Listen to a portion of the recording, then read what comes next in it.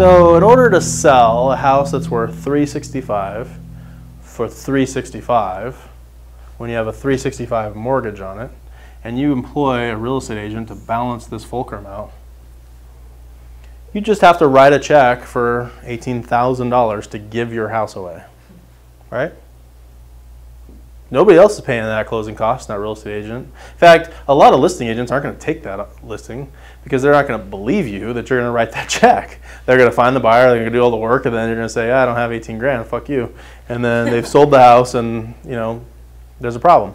So most listing agents won't, aren't going to take that listing. Hey man, you should probably short sale. So what, that, what happens if they short sell? They got a house that's worth 65, they owe 365, they take it to short sell, say, hey bank, I need to short, so I'm not gonna write the check, so you write the check bank and you're gonna kick in 18 so I can sell the house for 347. And the bank's gonna say, fuck you, house isn't upside down, we're not doing a short. So the listing agent's not gonna buy it and the bank's not gonna buy it. Who's gonna buy this thing?